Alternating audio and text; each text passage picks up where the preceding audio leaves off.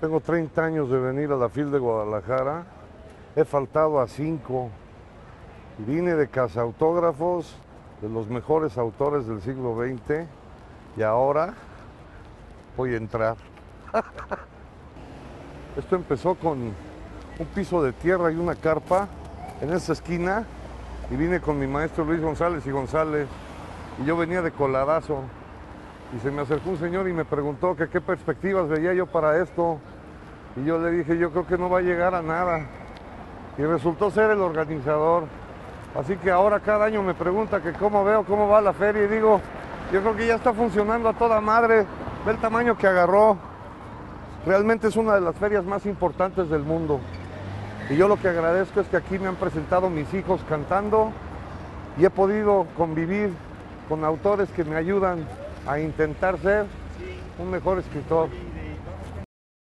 Antiguamente se entraba por allá arriba, pero ahora entramos todos por aquí porque es el ala internacional y aparte aquí está el café. Buenas tardes.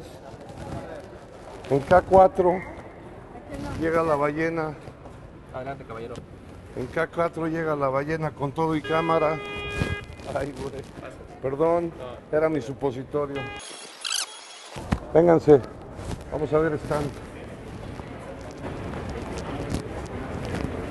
Una de las maravillas conmovedoras de esta feria es que año con año vienen cada vez más familias que calculan su presupuesto para comprar libros, en particular la mía, mi mamá que hoy compró 1.400 ejemplares de mi libro, así que está agotado.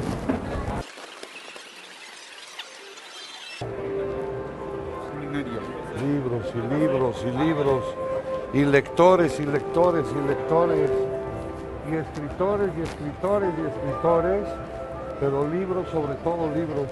Una de las maravillas que tiene esta feria es además el contacto directo que tienen los lectores con el autor, poder acercarse a los autores que solamente habíamos visto en tinta y pedirles por lo menos que nos firmen un ejemplar.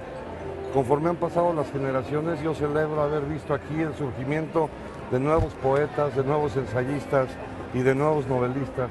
Y que quede clarísimo, lo único que nos salva como país, como persona y como planeta está en los libros, en la lectura de libros.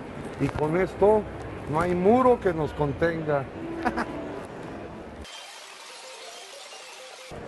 Estamos en una de las zonas quizás menos exploradas, que es la de los profesionales del libro. Allá al fondo están los derechos a la venta de posibles traducciones y están los sueños de quienes andan buscando a un agente literario. Yo en lo personal no necesito porque yo voy al gimnasio con Margo Glantz y con Elenita y trabajamos entre los tres la autodefensa de nuestros derechos. ¿Cómo? Glúteo y pectoral en el spinning.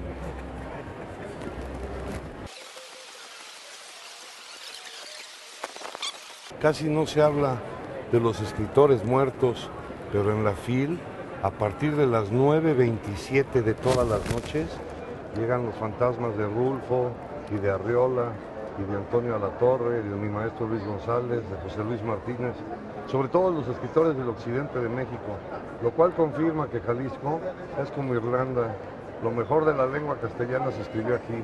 Y a ver quién lo niega.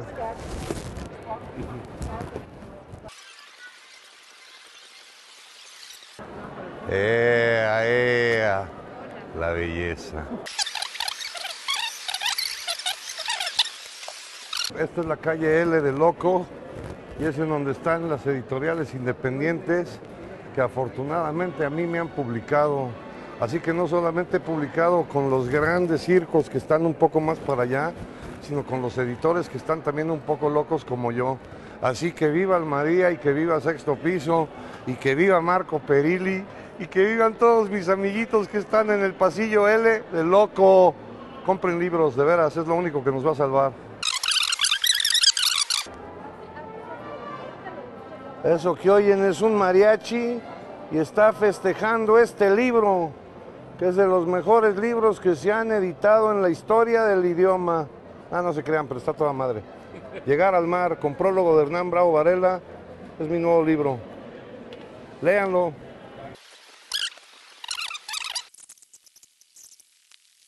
Y este libro se llama El dibujo de la escritura, es un título que le puso Juan Cruz. Tiene prólogo de Joy Laville, que es mi novia, que tiene 94 años y vamos a tener familia. Y son los dibujos de mis libretas. Si usted no ha pensado aún en qué regalar esta Navidad, no lo piense dos veces. Regale estos dibujos que hablan de la literatura y de los personajes y de un escritor enfermo que los usa para escribir historias. El dibujo de la escritura, Alfaguara.